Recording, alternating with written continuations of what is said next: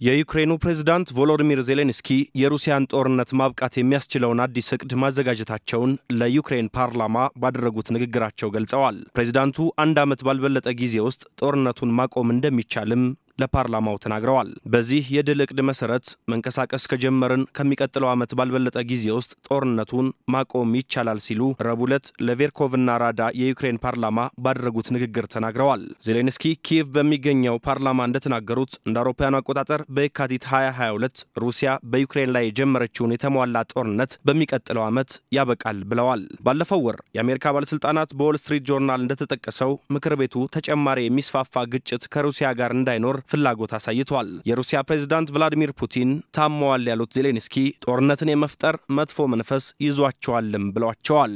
ዜሌንስኪ እንደተናገሩት ሐሙስ ዕለት በሚካሄደው የአውሮፓ ሕብረት ጉባኤ የድል እቅዱን እንደሚያቀርቡም ገልጸዋል። የዩክሬን ጦር ከሩሲያ ጋር በጦር ሜዳ እየተዋጋ ነው ያሉት ዜሌንስኪ በዓለም አቀፍ ኢኮኖሚ ላይ በተለይም በመረጃ ምህዳርና በሰዎች ልቡናም ፈተና እንደገጠማቸው ለፓርላማው ገልጸዋል። ቁልፍ ትኩረታቸው መደበኛ በሆነ መልኩ የሰሜን አትላንቲክ ጦር ቃል ኪዳን ድርጅት አባል በመሆን በህብረቱ የተጣለባትን የረዥም ርቀት ተኩሶች ገደብ እንዲነሳላት ማድረግና የምዕራብ ሀገራት የጦር መሳሪያዎች ወደ ሩሲያ ድንበር ዘልቆ መተኮስ እንዲቻል መጠየቅም ይሆናል። ዜሌንስኪ የዩክሬን ጦር ዘመቻዎች በዩክሬን ድንበር እንዳይዘልቁም ሆኗል እያሉ ነው። የዩክሬን መከላከያ የሩሲያን ጦር መቋቋም እንዲችል ከምዕራባውያን ድጋፍ እያገኘ ቢሆንም ጦሩ የረዥም ርቀት የጦር መሳሪያዎችን በመጠቀም የሩሲያን ድንበር ዘልቆ ለማጥቃት እምብዛም አልተፈቀደለትም። ከአሜሪካና የአውሮፓ ህብረት ጋር በጋራ የመከላከል አቅጣጫ መከተል አለብን የሚሉት ዜሌንስኪ በጋራ መከላከል የዩክሬን ወሳኝ የተፈጥሮ ሀብቶች እንዳይዘረፉ መጠበቅ ብሎም የኢኮኖሚ ሀብቶችን በጋራ መጠቀምን እንደሚያነሱ ተናግረዋል።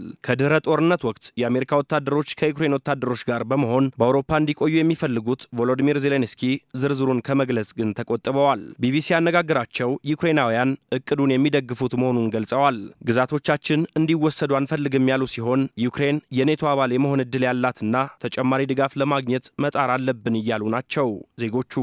ኔቶ እንደሚለው ዩክሬን ደህንነቷ እንዲጠበቅ የተቻለው እንደሚያደርግ ይገልጻል። በዩክሬን የተወካዮች ምክር ቤት ተገኝተው የድል እቅዳቸውን የሚያቀርቡት ዜሌንስኪ በፊታቸው ላይ የድካም መንፈስ ተነቦባቸዋል።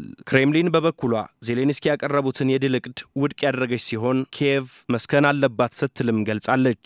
ይህ በእንዲህ እንዳለ ጦርነቱ መቋጫ ሳያገኝ እስካሁንም ቀጥሏል።